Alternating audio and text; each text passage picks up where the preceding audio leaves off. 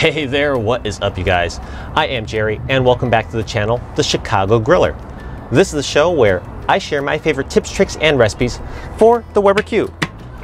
If you think that I could help you out, hit that like button and subscribe. So, I recently got back from vacation in Jackson Hole, Wyoming, and I was really moved by the beauty and hospitality of the American West.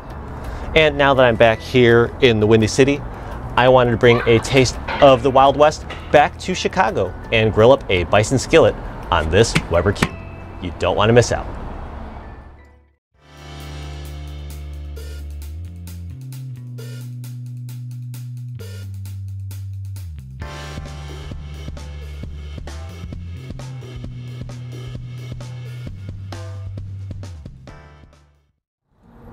So this recipe can normally be prepared completely inside, but in the spirit of the American West, we're gonna do everything outside today. The first thing you need is you need to grab a 10 inch cast iron skillet. This fits perfectly in a Weber Q 1000 or 2000. You'll also need, of course, one pound of ground bison. Now, I know this says buffalo on the front, but I'm pretty sure it's bison because buffalo is not native to America. We're also going to go with two peeled and cubed sweet potatoes. Finally, when we get to cooking, we are also going to add two eggs, one whole chopped onion, one whole chopped red pepper, and some diced green chilies. Anyways, let's get this barbecue heated and assemble our skillet. The first thing we have to do is we need to preheat and season our cast iron skillet. I've turned my Weber Q to a medium heat and I'm going to drizzle about a teaspoon or two of olive oil. Now shut the lid for about 10 minutes and let this all come on up to temperature. Once the skillet is preheated, I'm going to spread the oil a little bit more evenly and then fry up a couple of eggs. I'll go ahead and crack these eggs on my grill cart and open them up directly over the skillet. There's the first egg, and now the second egg. Now I'll shut the lid and let these eggs cook for about 4 minutes undisturbed. After 4 minutes, your eggs are done if you like them sunny side up, but if you want them over easy, over medium, or over hard, Flip the eggs over and let this cook for another minute or two until your desired level of hardness and doneness. I like my eggs over medium, so after flipping these, I'm going to let these cook for another minute. So after about a minute, these eggs are now cooked to over medium and they can come on off the grill.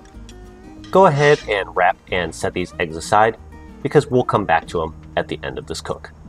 At this point in your cook, increase your grill temperature to a medium high heat and add your sweet potatoes to the skillet. For today's cook, I peeled and cubed two medium sized sweet potatoes. And just use a set of tongs and try to lay them evenly in a single layer at the bottom of your skillet. Once you've done that, close the lid and let it cook undisturbed for about 5 minutes. And after 5 minutes, open your lid, give your potatoes a toss and a turn, then lay them flat in a single layer once again, shut the lid, and cook for another 5 minutes. Now, 5 minutes later, 10 minutes of total elapsed cook time have passed, and it's time to give the potatoes one last stir, and then add in most of the rest of our ingredients. Let's start off with the pound of bison. It may all seem like a tight fit initially, but as the bison cooks, it will shrink, and you'll see that a 10 inch skillet is perfect for one pound of bison meat. Try to shift things around as best you can so that the bison is touching the surface of the cast iron. You'll also want to take your spatula or your tongs and start breaking up the bison into smaller chunks. You don't have to break it up perfectly at this point, it'll get a little bit easier as the bison cooks down.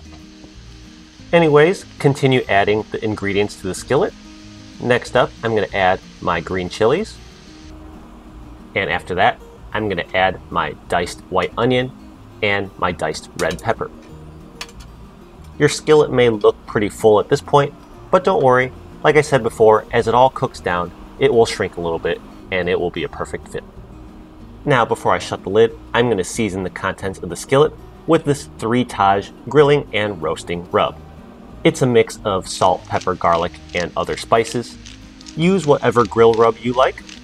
I think a barbecue rub would work really well, or just simple salt and pepper.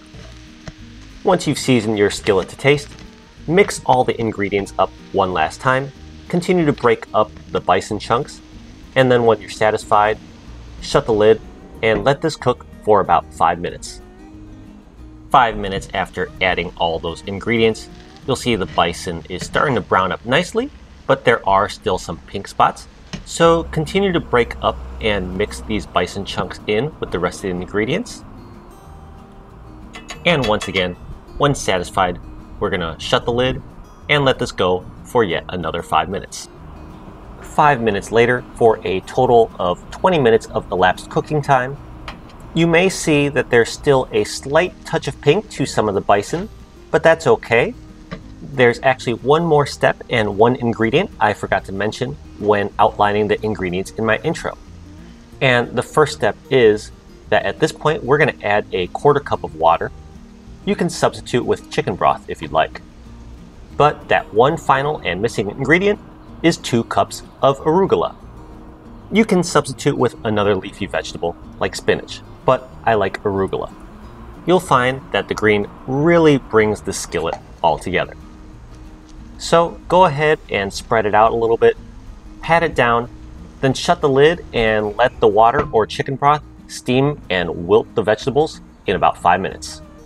And now finally, 5 minutes later, for a total of 25 minutes of total cook time, our skillet is just about done.